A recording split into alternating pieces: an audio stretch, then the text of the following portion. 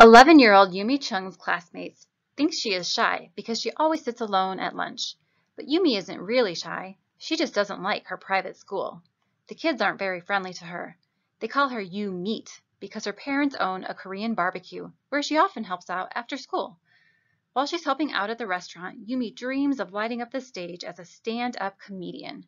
She keeps a notebook full of jokes she's made up that she calls her super secret comedy notebook. Her parents would never approve of her being a comedian, she thinks.